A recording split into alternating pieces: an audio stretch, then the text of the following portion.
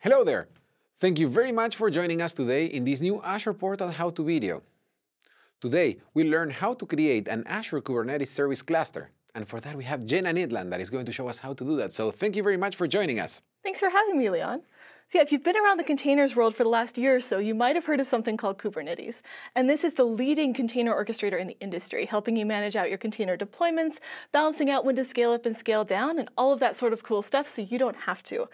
Now that technology can get a little complicated, so we're doing our utmost to make it as easy as possible to use here. I'm going to show you how to create one in the Azure portal.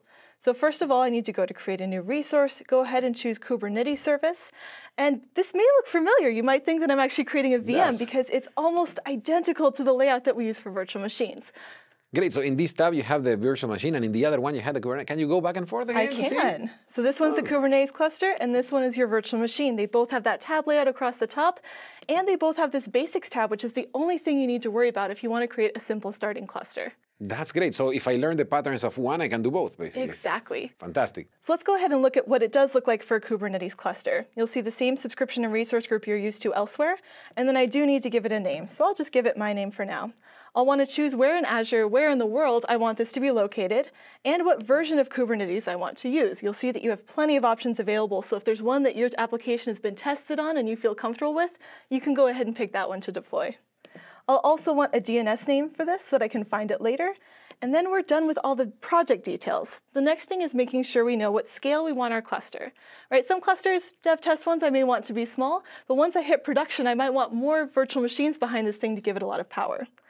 Now, if you've been around Kubernetes, it might look like there's something missing, but I promise it's not. Good. Um, Kubernetes actually has two types of nodes. One is a master node, and those are the nodes that run Kubernetes itself. So that's all the code that's keeping everything moving. Then there are agent nodes which run your code and your containers. In Azure, again, trying to make things simple, we actually took out the master nodes. We host them, you don't see them, and even better, you don't pay for them. The only thing you have to worry about are these agent nodes. So I can pick what virtual machine sizes and how many of them I want, and that's really it. Again, from here, I could just create my cluster and be on my way. Wow. There are some other cool things you can play around with though. So on this page, we do have something called virtual nodes. And what this does is allow burstable scaling. So if you hit those peak times and you need your cluster to go from this to this in a very short time span, this will use container instances to rapidly add containers to your cluster and build you up to the scale that you need. There are also other things on the tabs here. For authentication, if you're using a production cluster and you want to keep it really buttoned down, using RBAC, which is role-based access control, can help keep everyone you don't want out of this, your systems and keep it very secure.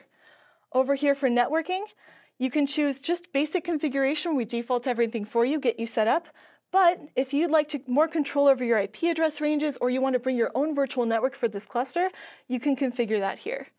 Finally, we have monitoring, which when enabled will allow container insights access to your cluster, which gives you real-time data on all of the different containers that are running within it and all the different pieces of code that you really care about. That's everything. We've taken this huge concept, tried to boil it down to something that's easy to get started with in Portal. From here, all I need to do is review it, make sure I have all of the settings that are required, everything set up the way that I want, and I'll be able to get going. That's really great, Jenna. Thank you very much.